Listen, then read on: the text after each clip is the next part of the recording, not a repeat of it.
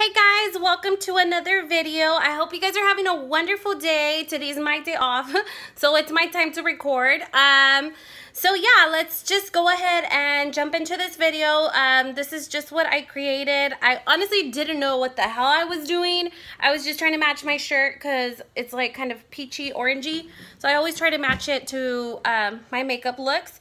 And what I did, it was a glittery, um, glittery orangey uh, bronzy brownie colors um, were the ones that I used.